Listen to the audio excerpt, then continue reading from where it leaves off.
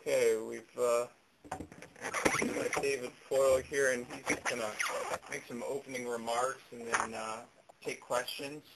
And if you can just identify uh, who is asking the question and what your uh, media affiliation is when it goes, I'll turn it over to David now. Thanks. Okay, good afternoon, everybody. Um, the uh, Nashville Predators obviously are very pleased to acquire uh, Mike Fisher. Um, I think our, our team has played uh, very well uh, this this year. We, like a lot of other teams, have had numerous uh, injuries. Uh, most of them have been at the forward position. Um, I think when you evaluate our team, uh, I think we always get pretty good uh, uh, marks for our goaltending, our defense, and defensive play. And one of the areas that uh, we probably take a little bit of criticism or fall short on is our is our forwards and specifically our offense. We were looking for a you know a top six forward. Uh, last uh, summer we we traded uh, Jason Arnott, who was our number one center, to New Jersey. Uh, we rallied and uh, signed Matthew Lombardi as a free agent. Unfortunately, Lombardi uh, received a concussion in his second game with uh, the Predators and has not yet returned to uh, play and we really felt we were short in that uh, that area. Uh, Mike Fisher is a player that uh, we always liked, uh, like everything about his his uh, his game. He he plays hard. Um, he's he's he scores pretty good. Uh, he's got uh, four four last five seasons. I believe he scored 20 goals. He plays in all situations, power play, penalty killing. I noticed that his ice time is over 18, I think almost 18 and a half minutes a game. That's more than any Predators forward. Uh, he's appeared in 75 playoff games. That's more than any current Predator player. Uh, uh, what I really like is that uh, this is not a rental, uh, like a lot of deals are at the trading deadline. Uh, Mike is signed for the next uh, two years, so uh, this is a deal that hopefully is going to help us uh, down the stretch this year, but will hopefully help us for a lot of years to, to come. Um, you know, from giving up a, you know, our first round pick, that's never comfortable for a team like ourselves. It's builds primarily its its roster through the draft, but we have drafted really well, and we have a lot of good prospects at a lot of different positions. So uh, we knew it was going to be uh, painful to do this, but uh, uh, that's what we did. I'm appreciative of our our ownership. Uh, they're certainly demonstrating the willingness to do whatever possible to help to improve the team and to give us a chance to to not only make the playoffs, but to do well and win some rounds in the playoffs. Um, so, I, you know, I think it's a good day for the for the Predators. I mean, we all know how we can see from the standings today how close it is in the Western Conference. So, uh, uh, really looking forward to Mike Fisher coming in and helping us down the stretch in, in the playoffs.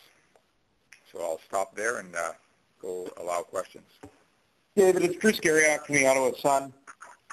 I'm just wondering, were you surprised that they were willing to have a discussion about this guy and that you were actually able to get him because of the type of player that he is?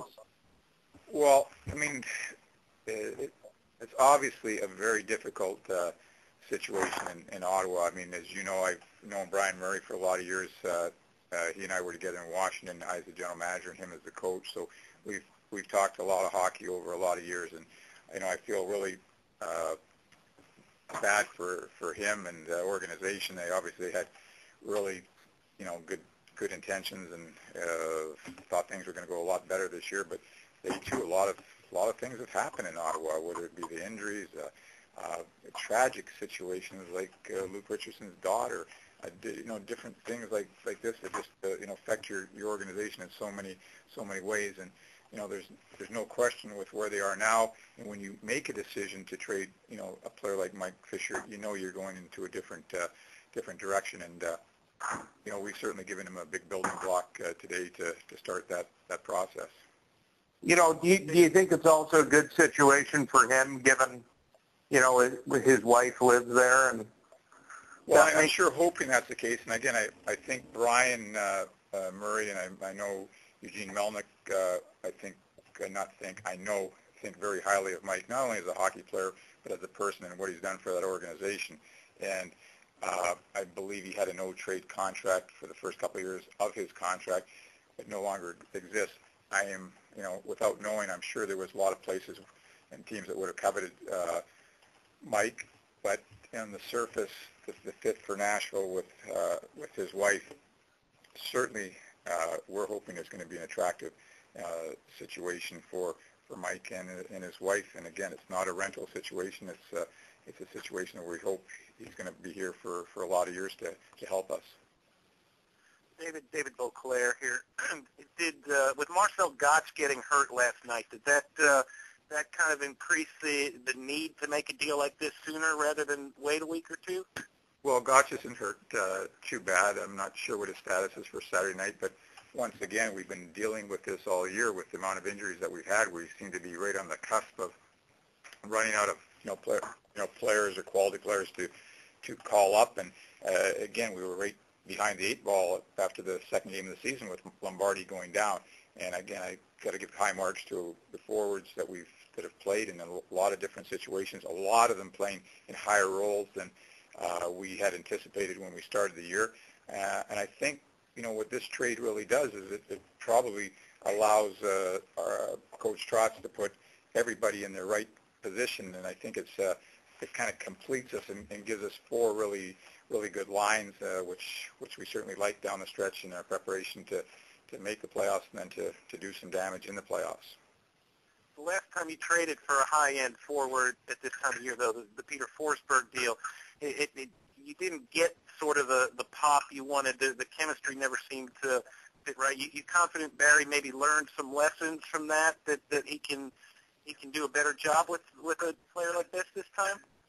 Well, again, you uh, you were part of this. Uh, again, just for the record, uh, we gave up a lot in that transaction, but uh, I've never for a day, a second regretted doing that. That that was fabulous to have Peter Forsberg here, uh, even at half strength uh, or what have you. And he, he missed you know a number of games, as you know, and his foot was never never right. But that had to be one of the more exciting times in our franchise. And and again, when you do deals like this, I mean, you're hoping that Mike Fisher is, is not uh, uh, the Messiah, uh, so to speak, but you're certainly hoping that he's going to be a good contributor and be part of the, the reason why we're going to be a, uh, a bit better and have, have more success than we ever ever had. But there's no guarantees, as we know in this business. It's you what you see in a player, what you what you believe he can do, uh, and how he fits in. Hopefully, they're the same thing. Maybe they're they're different things. You don't know.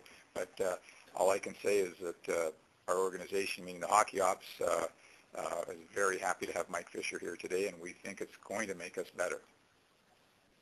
David, uh, Josh Triplett with Tennessee. Um, you, you talked about uh, wanting to get a top six forward, and you, you did that today, obviously. Are, are you still looking at ways to improve the team as you get closer towards the deadline? And if so, where are you looking to kind of build them up? Well, one day at a time here, Josh. I think, uh, you know, we're still looking to get a couple of players back from uh, injuries and – uh, you know, you'd like to see how Fisher, where he, where he fits in, who Barry plays him with, how our lines go, and see where we are. I mean, the good news is, is uh, we've, we've made this, this trade a couple weeks before the trading deadline, so we have time to adjust or readjust, and if there's something else that pops up, we can address that at the time. Uh, having said that, I feel pretty good about our roster right now, and all I would hope is that we have good health, and uh, I'm pretty, I would probably like to keep this pretty close to what it is right now. And uh, Fisher, obviously a very good two-way player, makes you stronger down the middle. Not exactly uh, the natural finisher type. Um, th- does this sort of help your offense, and, and if so, and does it give you enough uh, moving forward? You think? Well, I think it's going to help us in all all areas. I mean, uh, you know, he's not a superstar in that he's ever scored uh, 30 or 40 or 50 goals, but he has scored 20 goals for the last five seasons. And again, if we can get that kind of production out of him with the other other things he does in the game, like kill penalties, playing against top lines, playing big minutes, playing a hard, aggressive game, I think it'll be a, a real nice upgrade for our, our team and for our offense. Ryan Forth of RLD Hockey. David, did you feel like this was a, a win-win for you, provided that you didn't have to give up a prospect? Well, again, there's lots of things talked about in the deal, and uh, you know, we, as I said earlier, we, we really feel we draft well, and when we draft well, our our scouts kind of covet our prospects. So anytime I was to mention a name, would you trade this player, or that player, that that was a lot of pain. So again, the first round pick, that's that's very uh, that's a lot to give up in in any deal. But with what we have coming and how we've drafted, uh, we're pretty comfortable that we can we can. Uh, it's it's a it's a fair deal. The other thing, which I said earlier, which uh, which I'm uh, probably the happiest about, is that Fisher signed for for two more years, and it's not a rental situation. So many of these deals at the uh, trading deadline are for rentals, and you pay a big price, and then you the player goes to another team uh, the following season. So you know this is a this is this should be a good deal for today, and it should be a good deal for the future. Yeah. Okay. Let's. Yeah, uh, sorry about that. Listen, no, I just want, David, I just wanted to ask you, um, when did you have your first discussion with Ottawa, and how long did this deal take? Uh, it was about a week ago when uh, we first started uh, talking, and we've pretty well talked every day since that time. Yeah. It, w- was there any discussion about players off your roster at all, or was that Yes. to you? You you- you were a guy trying to add without subtracting, right? And I guess that was also an attractive part of this deal. extensive conversations about players off our roster and players in our system or draft choices, but that's not the direction I wanted to go. Right. Okay. All right. Sorry, that was all I wanted to ask you. Hey, hey David, it's Josh with the Tennessean again. Um, Fisher obviously makes about four million this year, uh, 4.2 million cap hit. You you guys uh, have a couple defensemen you're obviously looking to sign. How does that does that change the dynamic at all, considering the fact that Fisher signed for another couple or two or three years? No, this is a this is a good thing that he signed for for two more years. His his, his cap number is four two. Uh, 4.2 million, but his cash is 4 million next year and 3 million the year after. And uh, lastly, what were you seeing out of the 2011 draft that that made you okay with parting with with that pick? Well, I think 2011 draft is fine. I didn't want to part with that pick, but just as I answered the previous question, I didn't want to trade anybody off our team. I didn't want to give up a prospect, so um, there's nothing nothing left there. So again, I uh, it's the was the least painful of of what my options were. I mean, I, if we're going to make a trade like this, as you know, I said to Bryan Murray, is that I got to keep our team intact. I mean, we have injuries and what have you. We're trying to add, not just make uh, subtract. So that's that's where we end, how we ended up where we where we did. David Buddy Oakes with Preds on the Glass. Uh, a couple of questions. Uh, one thing that's always been a concern for Nashville has been revenue sharing and staying under the midpoint in order to get to the full revenue sharing.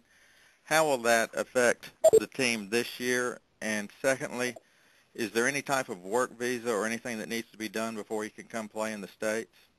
Well, the revenue sharing uh, in the national is, a, is somewhat of a complicated uh, situation in which you're referring to. There's different tranches of, things that you qualify for and uh, or don't qualify for. But the major thing for revenue sharing uh, for the Nashville Predators is our is our attendance. And as you know, our attendance, and I knock on wood, has been very good this year, and it's uh, trending uh, uh, very well. So I, for for almost all the components of revenue sharing, we will we will uh, we will hit this year. So that's uh, that's a good thing for for us. Um, on the other uh, on the other question that you asked, uh, Mike Fisher is a Canadian citizen, so he needs to get a, a work visa, which we're working on. Uh, should be done hopefully by tomorrow, so we expect him to be here tomorrow night and in the lineup for us on Saturday.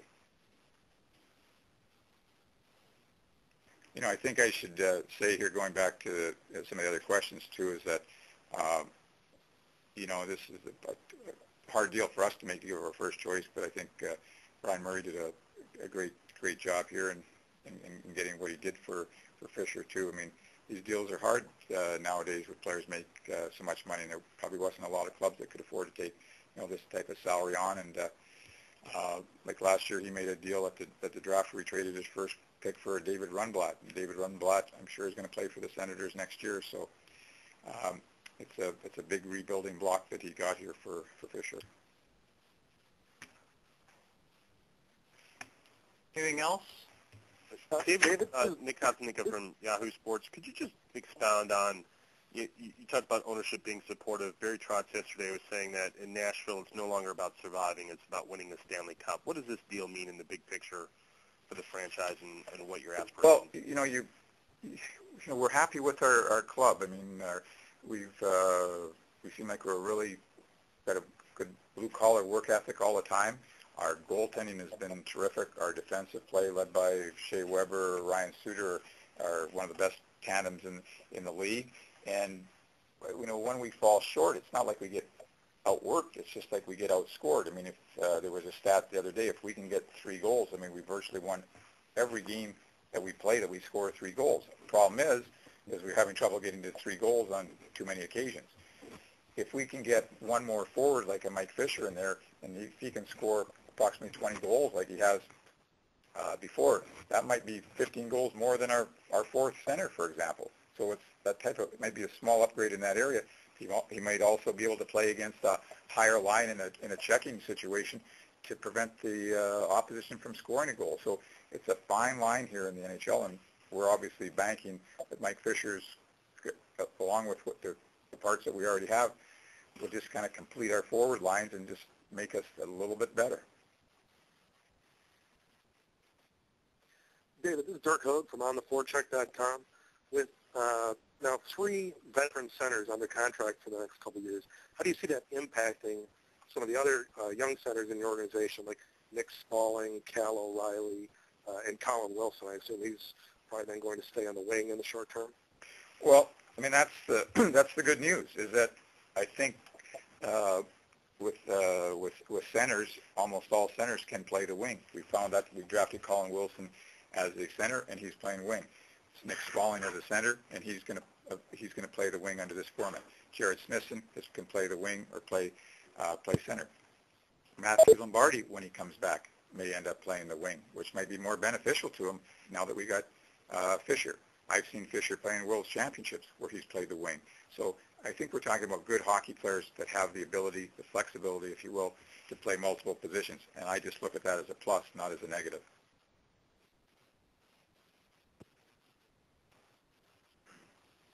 Anything else for David? Uh, David, this is Jeremy Gover from Section303.com.